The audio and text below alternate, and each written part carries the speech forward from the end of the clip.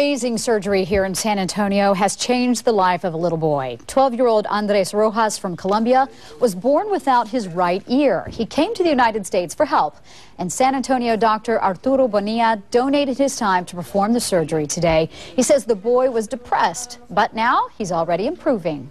The most beautiful change is their self-esteem because it's immediate. Even though they um, haven't seen their ears yet, because because it's covered up with a bandage, they know something is there. Doctors actually took several of the boy's ribs. They carved them into the shape of an ear and attached it on his head.